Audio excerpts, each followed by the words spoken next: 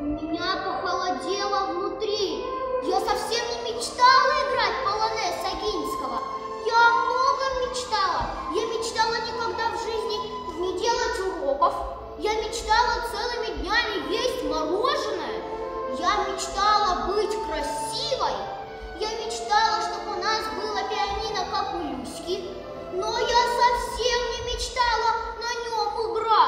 16 ноября во Дворце творчества детей и молодежи состоялся городской этап конкурса чтецов «Живое слово». Участники исполняли поэтические, прозаические, а также драматические произведения отечественных и зарубежных авторов. Регламент одного выступления составлял не более четырех минут на каждого. За это время нужно было показать не только знание текста, но и использование выразительных средств. Вдруг во двор въехал грузовик, а на нем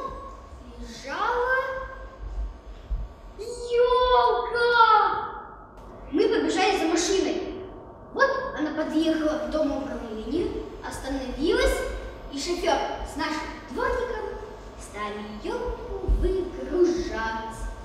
Кому-то из участников помогал реквизит, кто-то брал эмоциональностью и напором, а маленькая Даша не по возрасту философским подходом к сути выбранного произведения. Скажите, кто испортил сыр? Кто в нем наделал столько дыр? Во всяком случае не я. Поспешно хрюкнула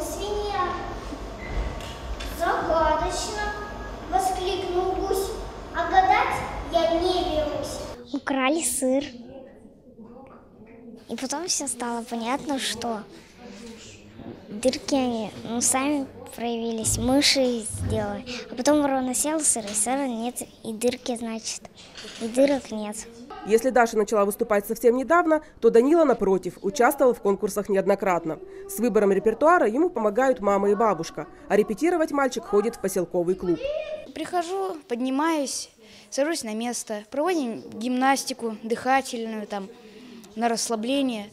Потом иногда, когда репетировать надо, я хожу вообще в театральный, идем иногда на сцену, и там вот репетируем сценки.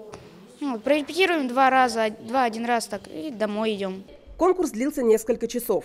В итоге призовые места были определены в четырех возрастных группах. Победители получили грамоты от организаторов.